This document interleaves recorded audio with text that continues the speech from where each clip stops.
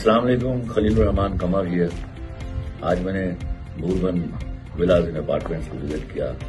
सरदार उस्मान साहब की ये काविश है। And I found it so if you are looking for any property way you want to spend time with your family और quality time I would highly recommend this is the best place thank you मैं तो आप लोगों को सबको मशवरा दूँगी। और मुझे पता है कि अमेरिका की लाइफ कैसी है।